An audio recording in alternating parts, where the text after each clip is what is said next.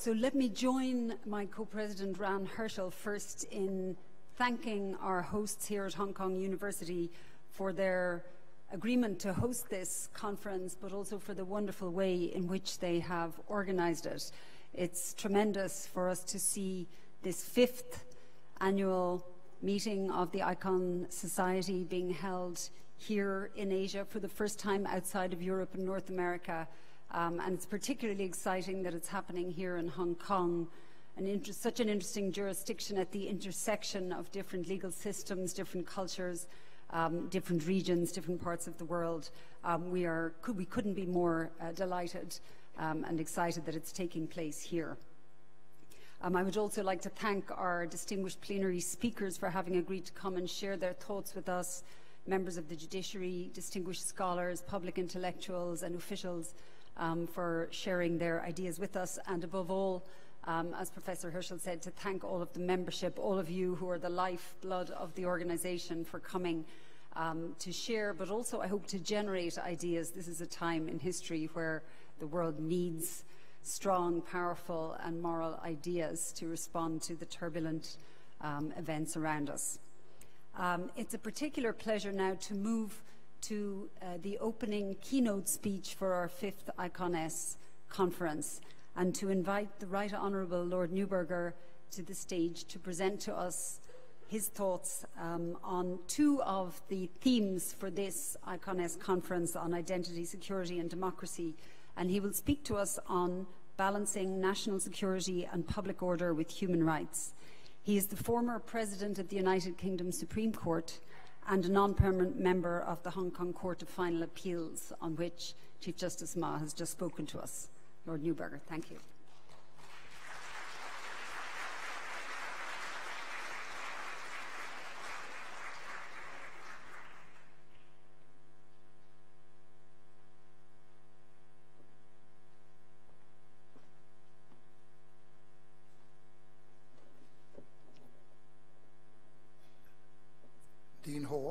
Professor Hirschl, Professor De Burca, Chief Justice, fellow judges, professors, doctors, academics, fellow guests, and last but by no means least, students. It's a great honor to be invited to give the keynote speech at an important conference, and this conference is important for at least three reasons. First, the significance of the topics being considered, or should I say each of the three topics being considered, identity, security, and democracy, all of which are fundamental to most modern civilized societies, and all of which are currently being challenged in different ways. ICON S has never been more important. The second ground for saying this conference is important is because of the number and quality of the participants. I shall not concentrate on those two grounds uh, because I'll have something to say about the issues which are so important. Uh, and it would be inappropriate to identify individual people here who are important uh, and not others. And to tell all of you how wonderful you are would take up the whole of my talk. Before turning to my main topic, I'd like to say a little bit more on the third reason uh, as to why this conference is important. We're celebrating the 50th anniversary of the founding of the Faculty of Law at Hong Kong University.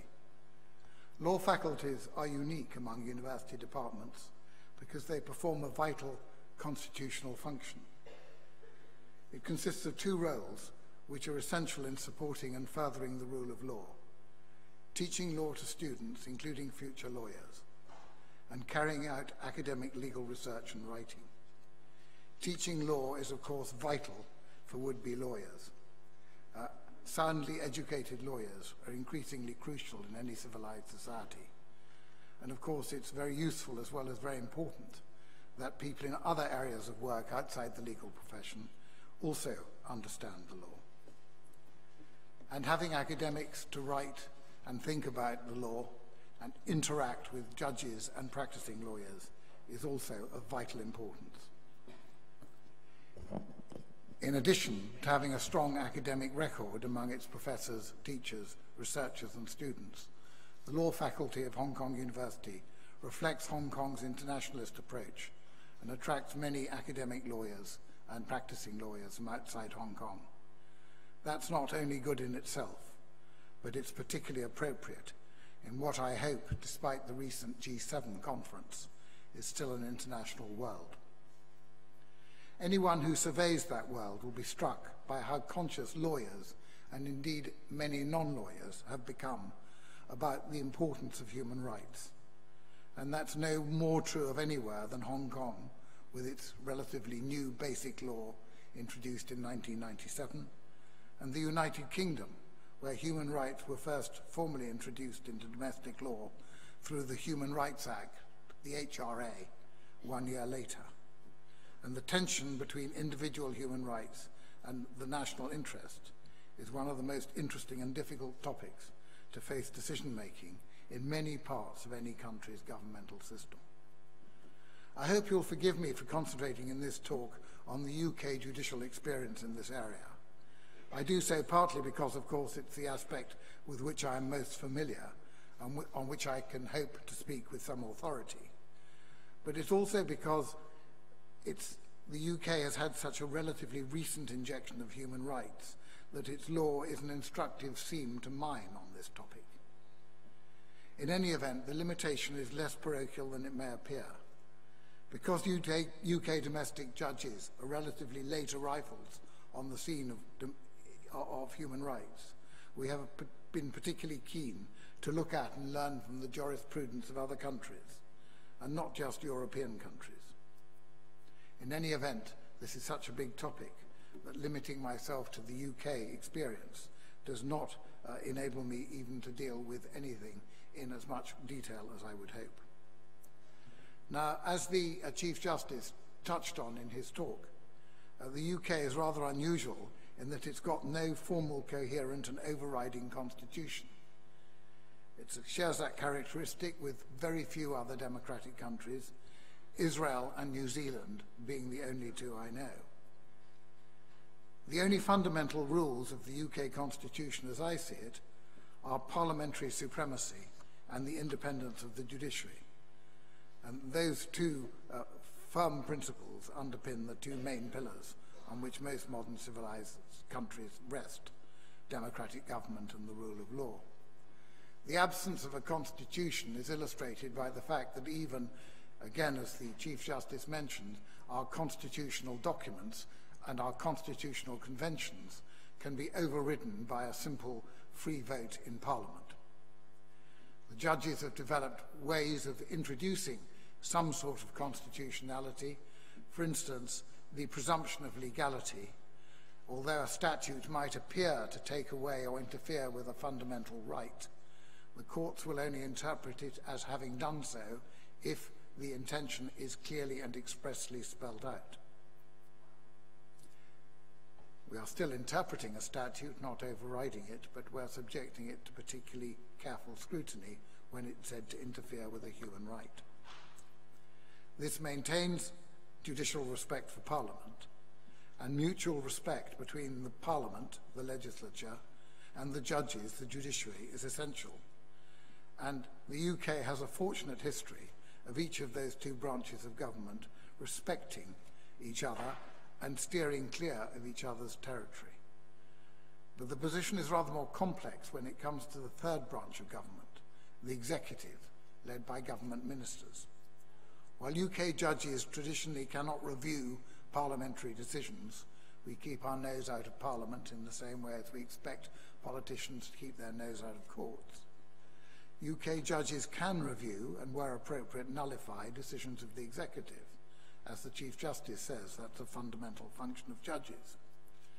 Indeed, uh, I, apart from uh, administering the criminal law uh, and determining rights and duties as between uh, private citizens, uh, there is no more important function uh, than the court role in adjudicating on where the executive has gone beyond its powers, where it's wrongfully interfered with private rights, and in particular, individual human rights. The developments in the UK over the past 70 or indeed 50 years uh, in that field have been extraordinary.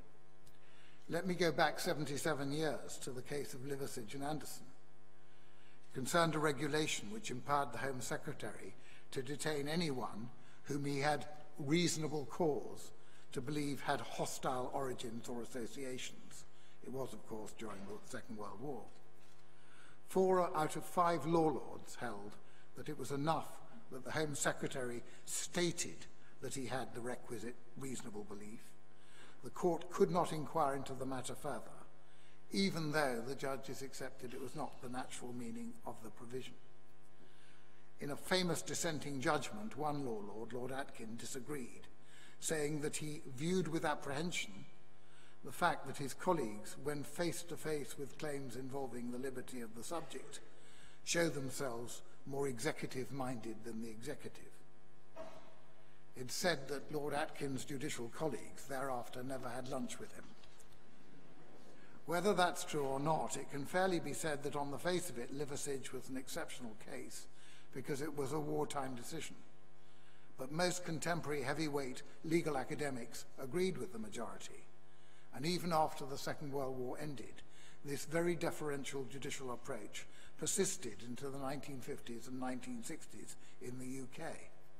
As one writer put it, for most of the first six decades of the 20th century, the UK judges were dogs that seldom barked or even growled and showed no disposition to play any sort of constitutional role.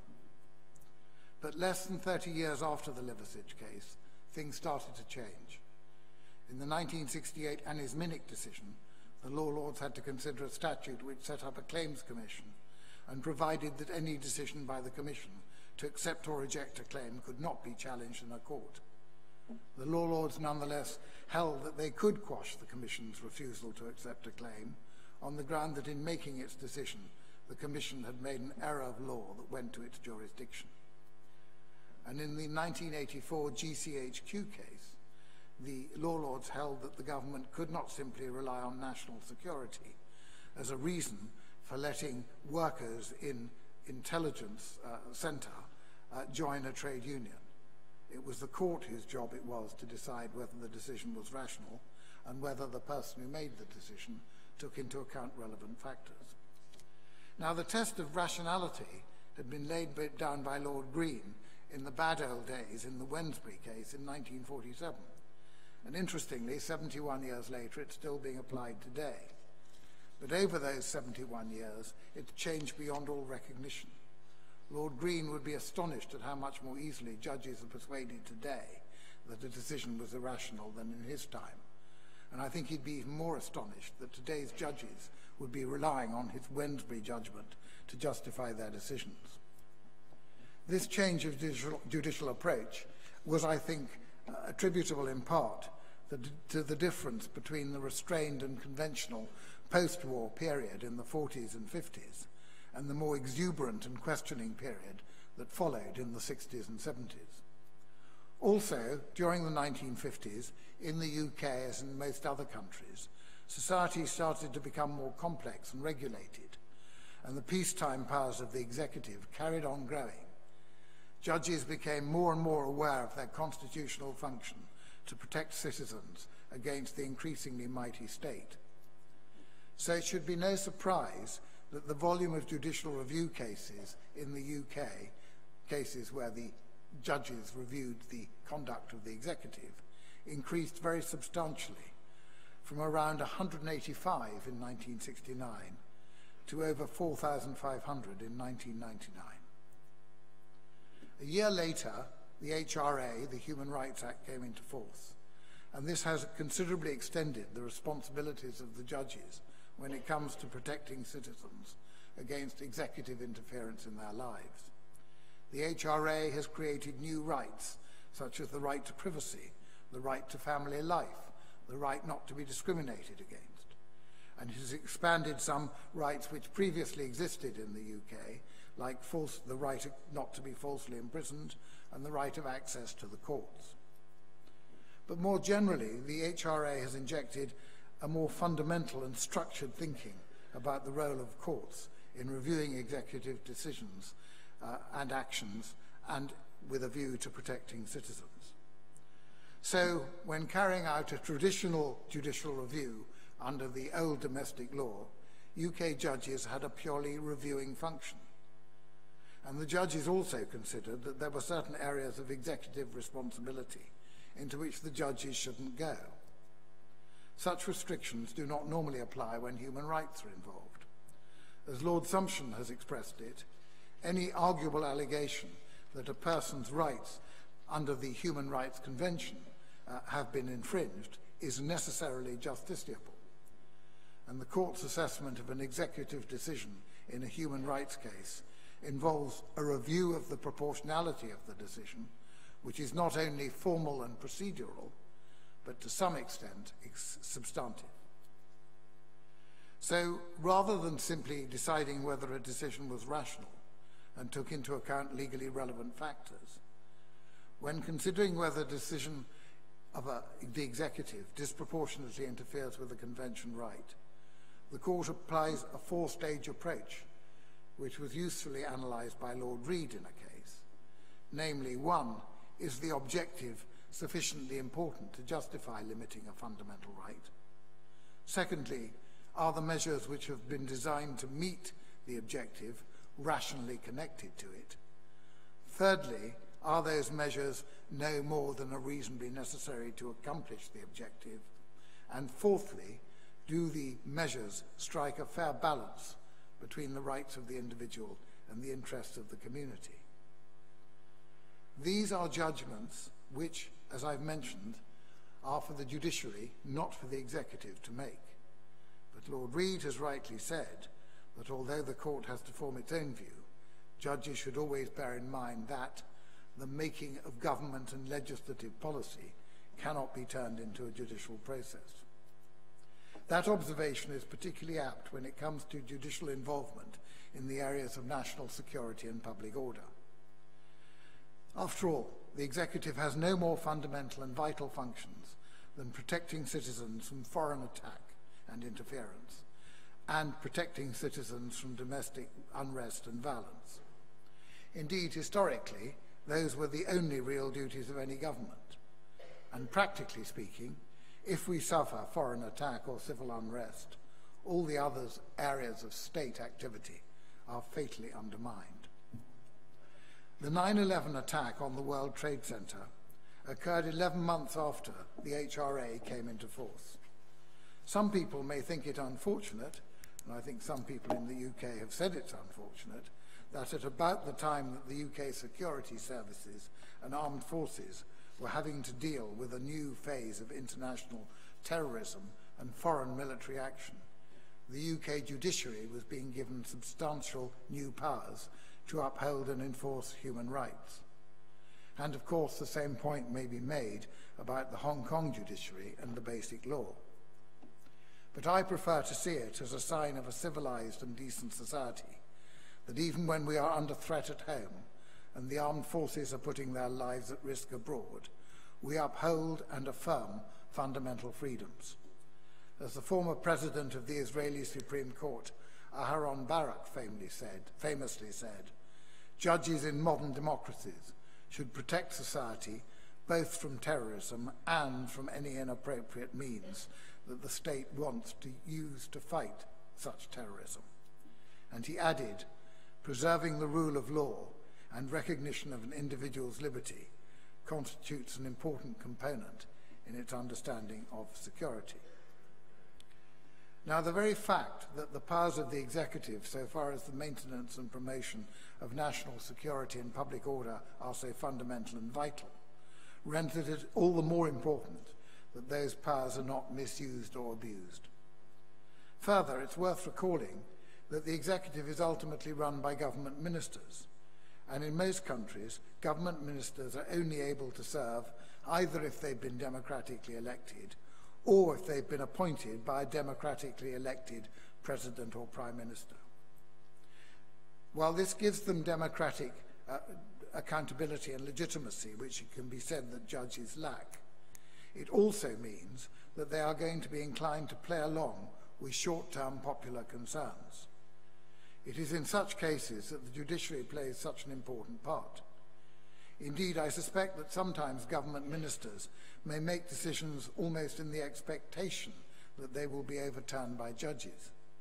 Making decisions which are right but are, unpopular is often much easier for judges who have a plain and unblinking duty to uphold the law and to enjoy uh, security of tenure than it is for ministers who constantly face all manner of different political pressures as well as the risk of losing office. No sensible person would disagree with the notion that it should require a very powerful reason for citizens to be denied fundamental rights or to be prohibited from complaining of unjustified interference with their fundamental rights. Equally, no sensible person would disagree with the notion that judges should not be making decisions as to policy matters, especially those involving intelligence or military issues. Where sensible people may often disagree is how best to reconcile these two nations when they come into conflict or tension in practice. There are two principal approaches which UK judges adopt to deal with such tension under the common law. While they accept that they have a duty always to rule on uh, human rights and when they're being interfered with, there are two factors they bear in mind, uh, or have to bear in mind, uh, in, as it were, in favour of the government. The first is to accept that while the court has jurisdiction to a rule that a particular decision is unlawful because it interferes with an individual's rights. Great weight will often be given to the view of the executive decision maker. The second approach in which a common law judge deals with the tension to impose, is to impose a self-denying ordinance and conclude that the issue is simply one on which it will not accept jurisdiction. The first approach, giving proper weight to the view of the executive decision maker, applies to human rights claims, but to a more limited extent than it applies to ordinary domestic common law claims. The second approach, finding no-go areas, a self-denying ordinance, does not apply in the great majority of cases uh, to human rights claims.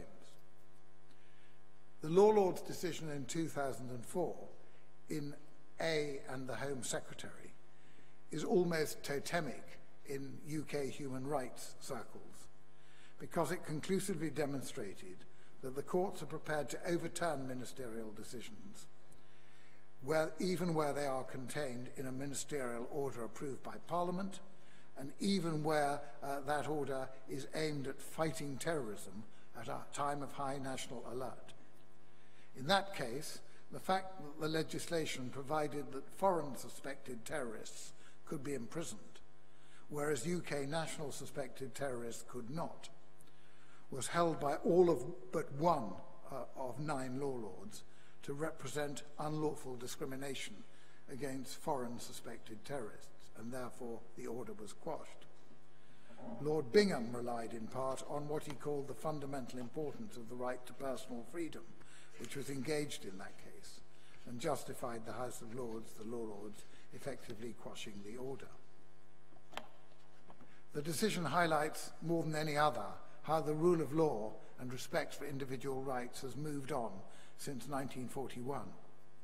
In Liversidge, you will recall, the Home Secretary's decision to imprison a suspect uh, when there was no reason to do so, and even when the regulation appeared to require reasons, was held to be lawful. In the A case, even though the Home Secretary had apparently good reasons uh, for his decision to imprison foreign suspects. His decision was quashed because it was unfairly discriminatory. And let me add that the discrimination wasn't simply a technical reason. If he didn't want to imprison UK national suspected terrorists, it obviously called into question the value or point of incarcerating suspected terrorists generally. The development of domestic administrative law by the judges in the second half of the 20th century, coupled with the coming into force of the HRA in 2000, had very substantial and very beneficial effects on the judicial resolve uh, and the judicial armoury, indeed, in relation to the performance of its fundamental duty of protecting individuals against unlawful or arbitrary decisions and actions of the executive. The A decision, however, doesn't only provide a good and high-profile example of the court standing up for the rule of law in general and general and fundamental rights in particular. It also provides a good example of the fact that great weight is given in appropriate cases to the view of the decision maker. Although they found the ministerial order in the A case to be defective on discriminatory grounds, as I've described, the law lords, again with one exception, were not persuaded by the bolder submission that they should also hold that the order was defective on an alternative ground, which was that it was based on the Home Secretary's view that notwithstanding its interference with personal liberty, the order was justified on the ground that after 9-11 there was a national state of emergency. The decision not to interfere with that view was justified Lord Bingham, by Lord Bingham, as he put it, not without misgiving, but partly because great weight should be given to the judgment of the Home Secretary, his colleagues in Parliament on this question, because they were called on to exercise a preeminently political judgment. I think that the way in which Lord Bingham expressed himself makes it clear that the identity of the decision maker, as well as the nature and circumstances of the decision, are all relevant to the weight to be given by the court to the decision maker's actual decision. Here, not only was the decision made by a very senior cabinet minister, but it had been effectively approved by the democratically elected legislature. And of course, the decision itself concerned the making of a political judgment, namely whether a national state of emergency existed, and if it did, what steps should be taken to deal with it. They were not the sort of things which a judge would naturally be at home with, although, of course, in an appropriate case, a judge would have to grasp the nettle.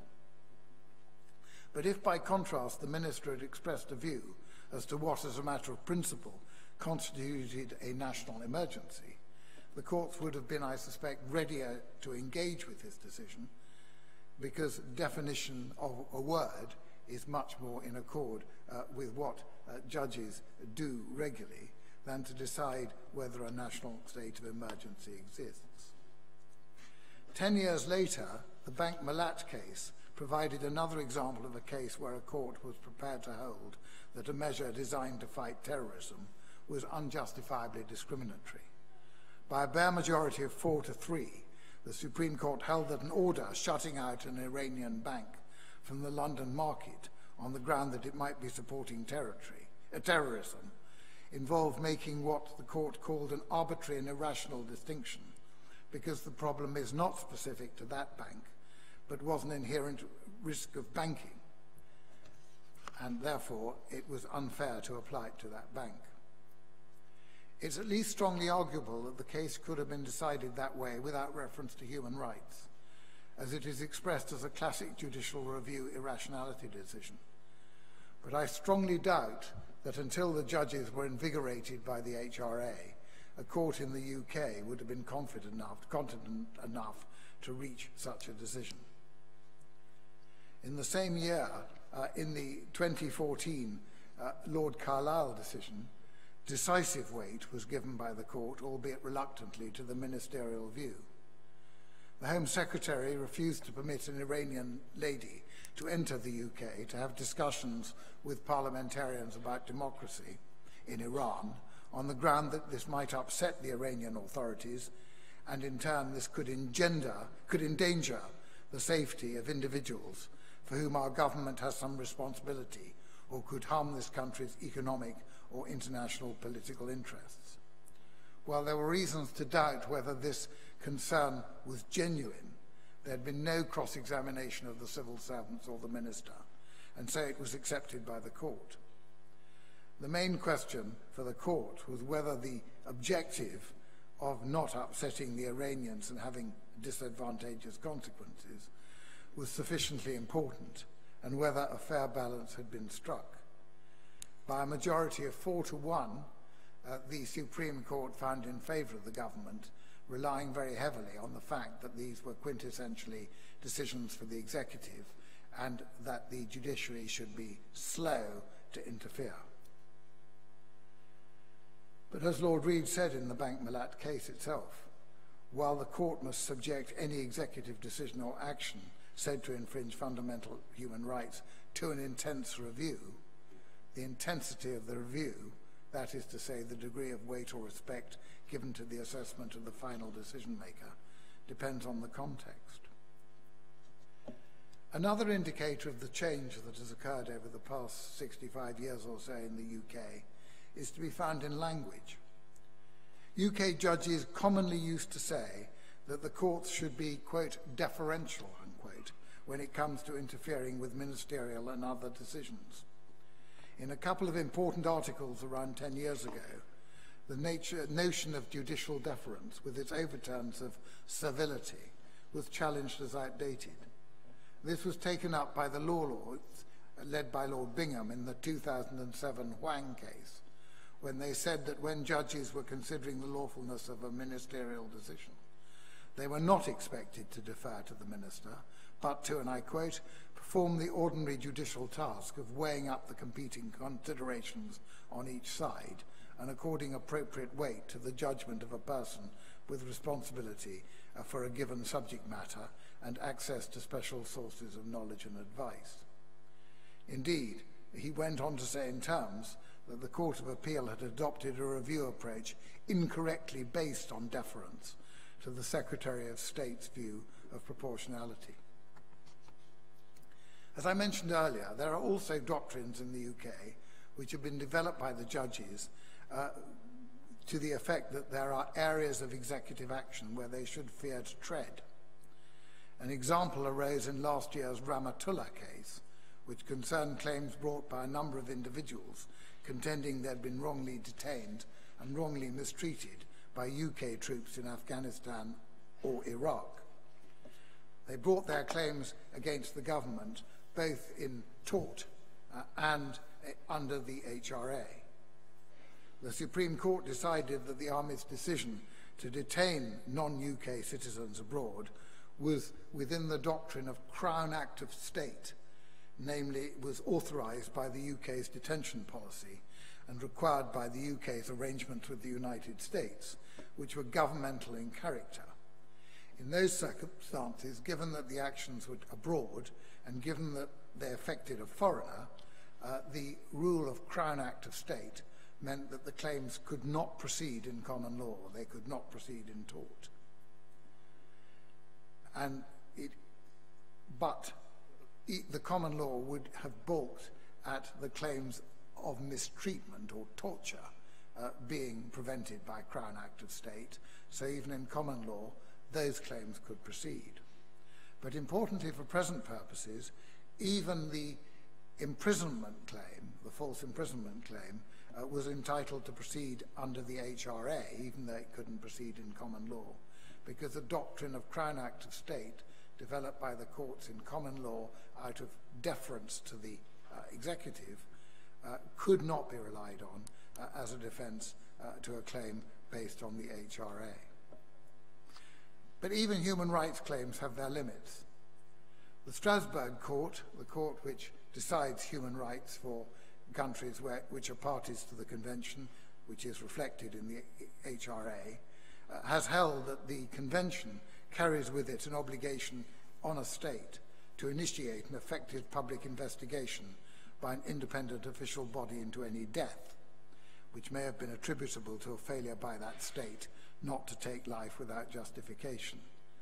In the 2008 Gentle case, the law lords had to consider a claim by the mother of a soldier killed in Iraq for an inquiry into the legality of the invasion of Iraq. Lord Bingham rejected this for a number of reasons, including the argument that it cannot have been envisaged that the convention, the Human Rights Convention, could provide a suitable framework or machinery for resolving questions about the resort to law. Another area where uh, the law now does uh, go, whereas many people uh, think it should not, is onto the battlefield. In the 2013 Smith and MOD case, Ministry of Defence case, uh, the Supreme Court decided by a bare majority that a, a claim uh, brought by families of soldiers who had died in Iraq uh, could proceed uh, to sue the government in negligence on the ground that, and under the convention, on the ground that they negligently failed to provide the soldiers with necessary protective equipment. The doctrine of combat immunity, which again had been developed uh, by the common law to protect the government from being sued uh, for negligent battlefield decisions was held not to apply. Uh, Lord Mance gave a powerful dissenting judgment, uh, suggesting that the majority decision would be likely to lead to the judicialization of war. Now, the problems the courts face when national security and preserving law and order clash with individual rights are not limited to substantive issues. They also arise in relation to procedural issues. There's no fundamental right which is closer to the judicial heart than the right of access to the courts, which of course includes the right to a fair trial. And what is meant to happen when an individual is prosecuted or sued, and evidence which is, which is essential to the prosecution or to another party, which could include the defendant, is much too sensitive to be revealed. If the government wants, or even more if the government needs to rely on such evidence, there's an obvious problem. It cannot show the evidence to the defendant, not least as he will normally be, or at least will be perceived by the government to be, a suspected enemy of the government. So, but it would obviously be unfair if the judge saw the evidence and decided the case against the defendant without the defendant knowing what the evidence was or having an opportunity to challenge it. By a mixture of judge-made law, decisions of the Strasbourg Court of Human Rights, and parliamentary statute, the UK has arrived at a modus vivendi which is undoubtedly less than perfect, but does represent a degree of compromise of various interests. First of all, a judge will decide whether a document which is essential should be protected from being used in court in the normal way. Then, if the judge decides that it should be, um, the, uh, it should not be produced in court, uh, the case can proceed. But the case proceeds on the basis of what are called um, special advocates. They are appointed by the government and they uh, act uh, in relation to the documents that they can see. They don't talk to the defendant, but they will look at the documents and they will argue with the judge and with the government in court in the absence of the defendant and his representatives about whether the documents assist the government's case and try and make, they try and make all the points on behalf of the defendant which could be made. This so-called closed material procedure is not a very satisfactory procedure, it must be said, uh, because the defendant is still excluded from seeing the document, excluded from giving instructions to his lawyers about it, and excluded from making representations and, on, about it and testing it in court. On the other hand, I have to say, in fairness to the government, they appoint competent, more than competent counsel as special advocates uh, to do the job of testing the document and arguing about it in front of the judge. Uh, and to that extent, uh, it, it is an acceptable process. But there's no doubt that any self-respecting judge will feel deeply uncomfortable about such a procedure because it breaks two fundamental rules of a fair trial, that justice must be carried out in public and that everything the judge sees and hears must be seen and heard by both parties. The first rule public hearings has always been subject to exceptions, cases involving children, trade secrets, and so on. But the second rule, that each party must see all the evidence and have a chance to test all the evidence that the judge sees, has never been subject to exceptions. And whatever protection or mitigation you introduce, its infringement uh, carries a significant risk of real substantive injustice. In the Al-Rawi case, uh, where this very problem arose. Uh, by a bare majority, the law lords decided that a closed material procedure was not something which the judges would permit if statute didn't provide for it. They took the view that it was not for the judges, as it were, uh, to require or introduce the concept of what may be an unfair trial. That was something which the legislature should do, and the government, and if it was not an infringement of human rights, the courts would follow it. That was, like so many of the decisions I've mentioned, uh, a majority decision. There were quite a few dissenters. It's perhaps unsurprising that the majority of the cases that I mentioned, the great majority of the cases I've mentioned, have involved fairly sharp differences of opinion between highly experienced and respected senior judges. They illustrate how difficult it can be to identify the precise limit of the court's role when it comes to invoking human and common law rights of individuals, to curb the freedom of the executive in promoting the rule of law and the defence of the country. A more historical perspective underlines this point. Virtually every fundamental belief which, is, which most mainstream moderate people in the UK and in many places elsewhere take for granted, like the various rights which the Chief Justice mentioned in his speech now being part of the basic law of Hong Kong, would have been rejected by most mainstream moderate people in the not so distant past. Fundamental freedoms such as the right to, life, the right to liberty, to a fair trial, freedom from torture, from forced labour, from discrimination, freedom of religion, freedom of expression, freedom of association. We would all, virtually everybody in this room and most people across the world, would say that those freedoms are right and should be virtually taken for granted. But in the UK, as in virtually any other country, you don't have to go very far back in history to find a time when every one of these freedoms simply didn't exist, or in a few cases could be said to exist, but in a very unrecognizably restrictive form. Indeed, if we go back 800 years to the time of Magna Carta, the great majority of English people, even after Magna Carta, had virtually none of these freedoms in any recognizable form. In Britain, freedom of expression and of religion only really started in the 17th century.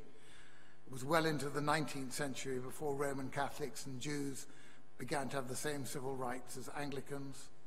Slavery was alive and well in the UK in the 18th century. The Attorney General and the Solicitor General expressed the view that slavery was lawful in England. Fifty years later, this opinion was described by Lord Mansfield as probably having been given after dinner, uh, but it still represented conventional legal thinking in the 18th century. Freedom of association only arrived in the UK in 1871 with the recognition of the trade unions. Torture was an official use in England until about 1840, although to be fair, it required a royal warrant. And when it comes to discrimination, one doesn't have to go very far back, even in my lifetime, uh, to uh, recall acts of discrimination which were perfectly lawful. It's scarcely 150 years since sex between men was punishable by death in England, and less than 50 years ago it was a crime for which men went to prison. A century ago, no woman could vote in UK parliamentary elections or, or practice as a lawyer. And 80 years ago, many employers in the UK uh, regularly required their female employees to give up work when they got married, as they would otherwise be keeping a man out of a job. Standards change with place as well as time. The death penalty is thought by most people in the UK to be wrong today, but it was only abolished in 1965. No doubt in the 18th century, most people thought it was somewhat eccentric to oppose a death penalty. They regularly attended public hangings. And even today, the death penalty is still part of the law and practice of well over 20 countries. And even within a country, within the United Kingdom, Northern Ireland has significantly different legal principles governing important social uh, issues such as women's reproductive rights blasphemy and gay marriage. So while the human rights we talk and litigate about so much are fundamental to any modern civilized, to most modern civilized and democratic societies and should be nurtured and treasured, we should not fool ourselves into thinking they are timeless, let alone absolute. We can look back with disbelief, or at least with surprise or disapproval, at accepted norms and laws 200 years ago, or even 50 years ago.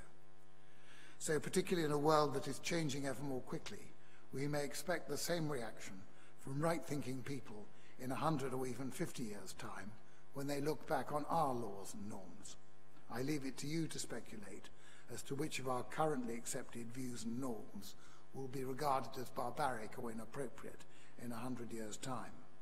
But one thing I'm sure of, the notion that we've reached some sort of nirvanic state of perfection is no more valid than the eschatological obsessions of those who thought, and in some cases apparently still think, that the end of the world is about to occur. We're on a very long journey, uh, uh, and we are nowhere near the end of it, I hope, and uh, we have yet to see where we go on human rights. Thank you very much indeed.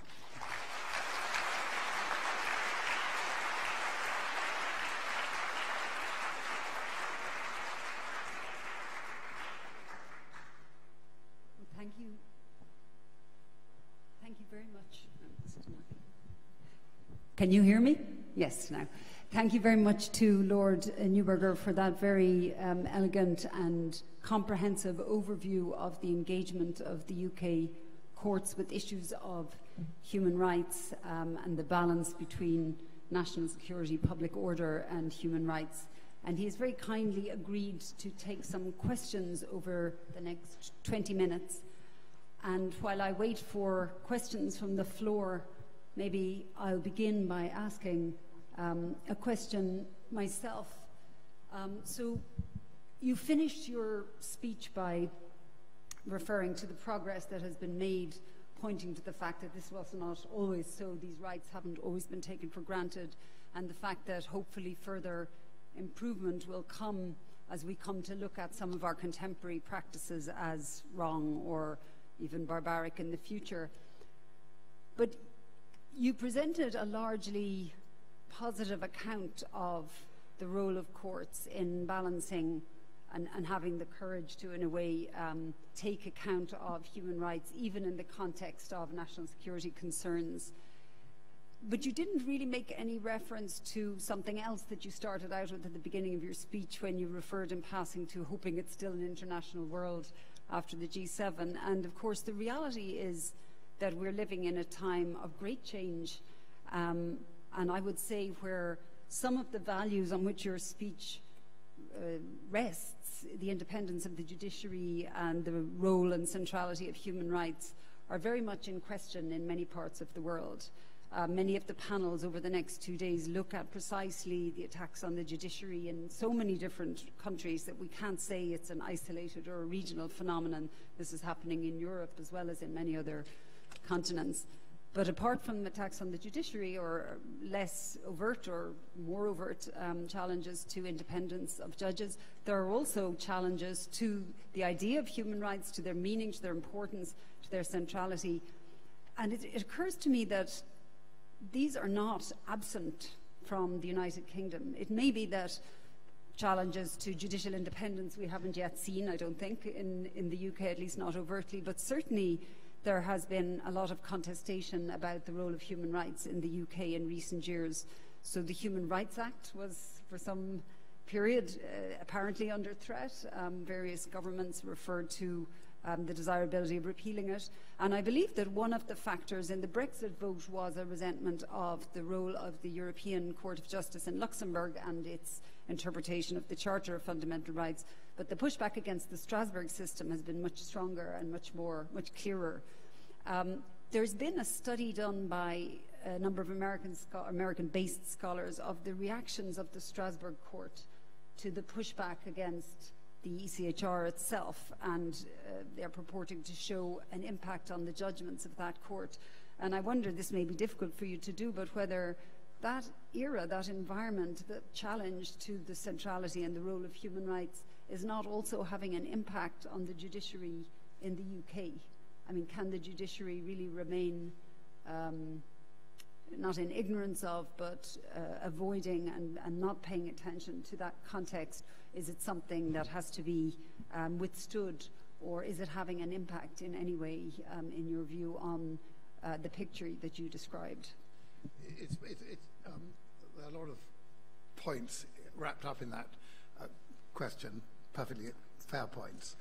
Um, it's perfectly true that in my talk I've tended to concentrate on the technical side of, of, of um, decision making in this field rather than on the political pressures and the international aspect. Secondly, um, it's perfectly true that the independence of the judiciary is under attack in some countries and pretty notably in places like Poland and Hungary in, in Europe. And uh, one particularly interesting case, which I, you may be studying, is um, a case, as you know, under the European arrest warrant. It's a very fast-track system of extraditing uh, people who are wanted by the judicial authorities from one EU member state to another.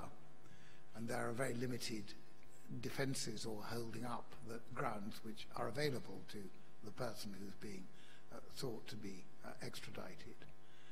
Um, but one case which was heard in Ireland, uh, the uh, person who was to be extradited to Poland uh, ran the argument that he would not have a fair trial because the Polish uh, judiciary was no longer independent.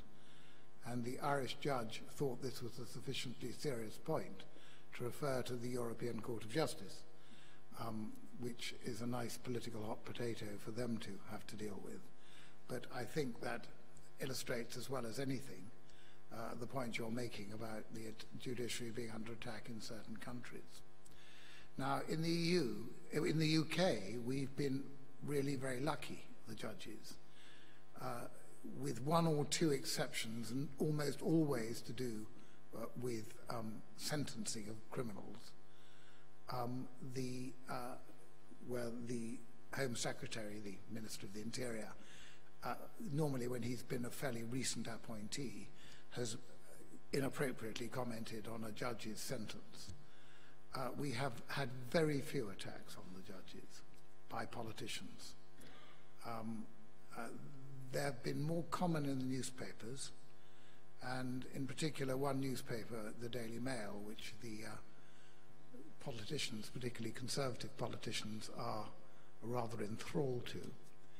And the worst example, you referred to the Brexit uh, business, was uh, a case where the High Court of the UK decided that the government couldn't invoke Article 50 to leave the EU without getting the formal authority from Parliament. And this had become, for reasons which I thought were slightly difficult to fathom, uh, an iconic debate between, or iconic issue between those who wanted to leave the EU, who didn't want it referred to Parliament, and those who wanted to leave, didn't want to leave the EU, who wanted it referred to Parliament. I personally thought that it probably didn't make much difference, and if anything, the two people, the two groups were on the wrong, each on the wrong side. But never mind that.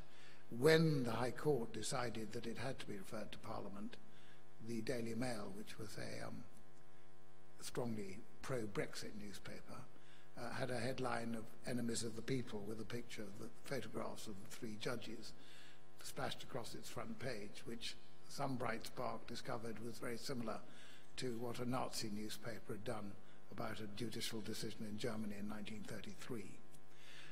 That caused a lot of shock and criticism, and I'm afraid the government, because of its sensitivity about Brexit, not wanting to upset anybody, and its sensitivity about upsetting the Daily Mail, uh, played a very feeble hand in standing up for the judges. In, in the grand scheme of things, when you look at what judges in so many other countries are going through and have gone through, it's a pretty small thing. But it did cause quite a lot of shock, and the fact it caused quite a lot of shock was a good thing. I think that you're right also about the fact that there was an obsession about the Court of Human Rights among, again, the same sort of group of people who are pro-Brexit. Um, they were hard put to identify any decision of the Court of Human Rights that they objected to, and normally the issue which they identified was the, to my mind, pathetically small issue of whether prisoners should be allowed votes or not. Um, I happen to think that prisoners should be allowed votes. I happen to think that it's an issue on which Parliament should be able to decide, so I think that Strasbourg probably shouldn't have got involved. But um, Strasbourg got involved and we should have gone along with what they decided, but for some reason it became a ridiculously totemic issue. Uh, with the, I, I, the, the, CJEU, the other European court, the Court of Justice, played no part in national debate at all until after the Brexit vote, when I think remarkably and advisedly Mrs May turned it into a, an issue, um, which was then picked up by the um, Brexit supporters, and I think can lead to difficulties. But um, that's politics. Politicians have a very difficult life to lead, um, and in a way, much more difficult than um, judges. We have a lot of judges have a lot of difficult decisions to make, but in the end, their decision making um, is guided by one simple principle, which is the rule of law and legal principle. And it's often difficult to decide what the answer is, but that's the sole guide, whereas politicians have so many other pressures and factors that it's easy to be critical of them, but they do have a more difficult time of it than judges in that sense. Um, are judges affected in their decision making by public opinion in the UK? I think, in the most general terms, yes.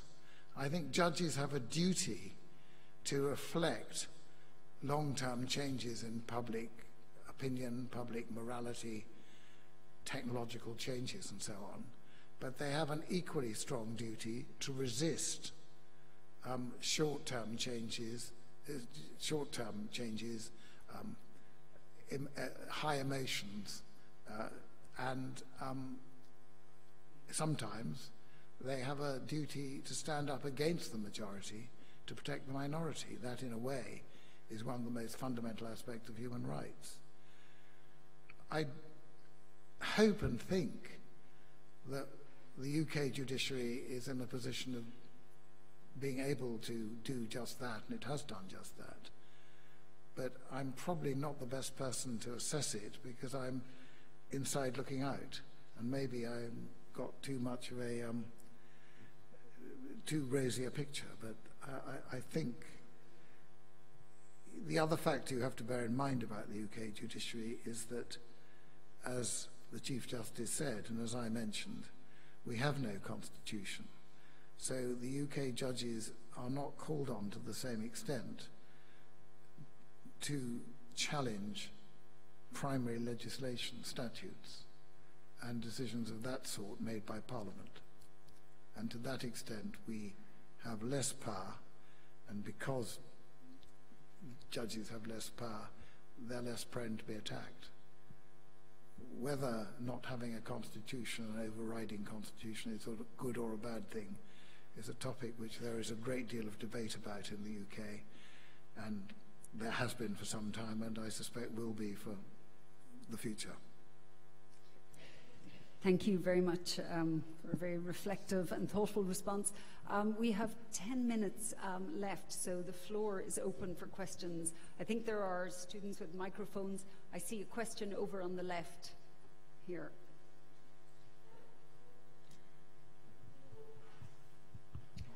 Uh, hi, I'm David Fagelson from American University. Um, uh, you, you, mentioned in your talk how unfair some of the processes were, and I do think it does raise a lot of moral implications, but I, I'd put to you that it actually, the failures of due process are not simply matters that are unfair, but they actually bring into question the lawfulness or the, the, law, the law nature, the nature of the law, whether or not um, judges and participants in some cases are actually applying a rule um, that the, some of the lack of due process isn't simply a matter of unfairness, but it's a question of whether or not you're actually able to make a rational connection between a rule that's in place and a particular um, defendant who may or may not have committed a crime. And I think this is um, the deference that judges are given, and I understand why um, it's more of an issue in Britain than, for, for example, in the United States, where um, there is a written constitution. But um, in many cases, the deference that's given to the executive is essentially carving out an area where law is not practiced, even though judges are making decisions as if there is law going on. Um, that last bit was an editorial remark.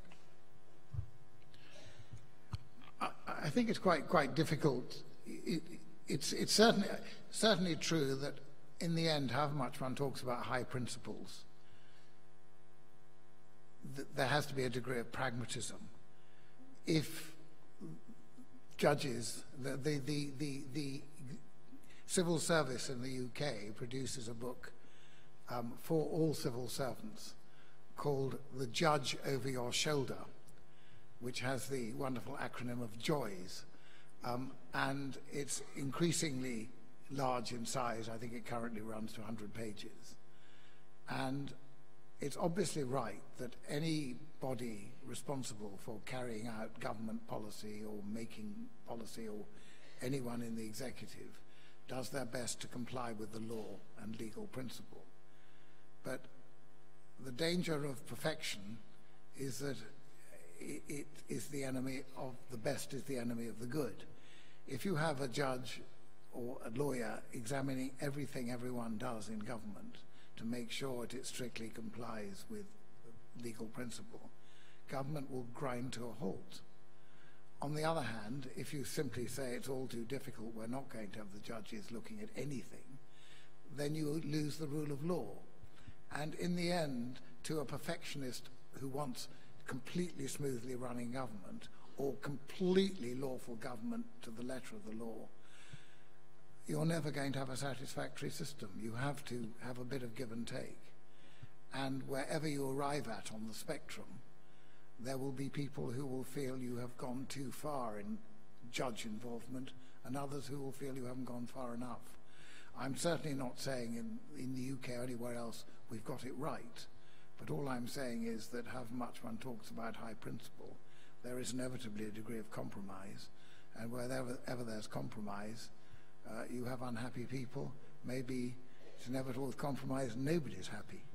But compromise there has to be. And there's another question on the side, left side here.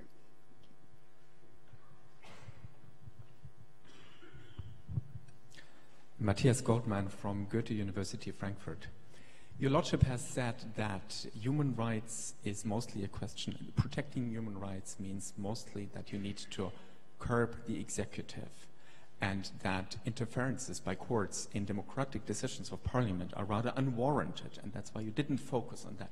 Now, my question is aren't you taking for granted a stable institutional setting of checks and balances as it exist, has existed in the UK for much longer than in most countries, which are not so lucky, uh, which, which, protects or which keeps politics in check and makes it unnecessary for courts to intervene that.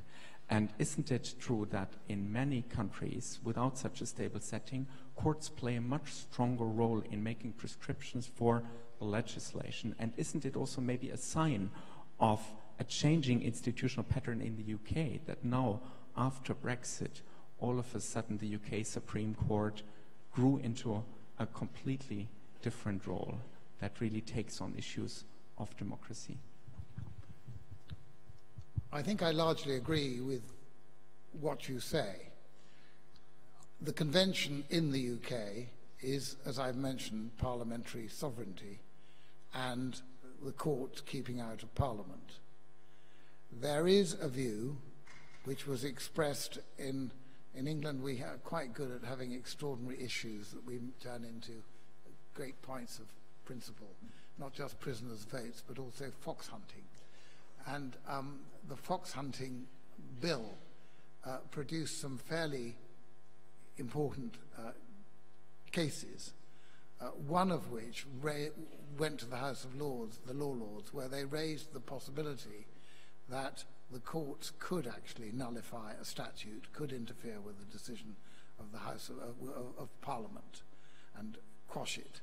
Uh, it was touched on very briefly in the judgments, but uh, the academics got very excited about it. The truth is that, A, we have a very clear tradition in the UK that we don't interfere, that the courts do not interfere with parliamentary decision. B, I think almost retrospectively rather than at the time the principle was developed, it's justified by reference to democratic accountability and pragmatism. Thirdly, there is an argument that Parliament in some ways is becoming more uh, subservient to the executive, because like many countries, the executive and the legislature are not separate as they are in the United States. So the Prime Minister and all ministers are in the House of Commons, a few in the House of Lords. Um, and this gives, in practice, the executive, the government through ministers, very strong influence in the uh, House of Commons. Nonetheless, the danger of the courts in the UK expanding, breaking out of the, on one view, self-imposed restrictions of not stepping into Parliament's shoes, uh, the prospect of breaking out of that would be quite frightening because it would pull a very large thread out of what is quite a complex tapestry, and a tapestry with no frame because we have no constitution. And the result as to what would untangle if we did that, if the judges did that, would be quite sobering. Coming back to your question, yes, where the Parliament is less well established, where the tradition of the courts not interfering with parliamentary decisions are less well established, and where above all there is a constitution which gives the court the duty to consider whether laws passed by parliament are in fact lawful, then different considerations apply. So I largely agree with you. I think on Brexit, the big decision we had, namely whether the courts, whether Parliament's approval through a statute was required before uh, an Article 50, Article 50 notice could be served by ministers to leave the EU, was not actually new law. The government did argue in front of the High Court before it came to the Supreme Court that this was not a function the court could properly carry out. But they quickly abandoned that because it wasn't justifiable. We were not sticking our nose into parliamentary activity. We were not saying Parliament couldn't do something. What we were saying was the executive couldn't do it, ministers couldn't do it, without Parliament giving them approval. We were not saying what Parliament should do, but we were just saying what the law was. And although we were split 8-3 in the result, we all agreed about that fundamental principle. So I believe we have reached the um, end of our time for this session. I want to remind everyone that we have a 20-minute break now, followed by another stellar lineup for our first plenary session at 3. Can I ask you to please thank Lord Neuberger for a terrific opening speech?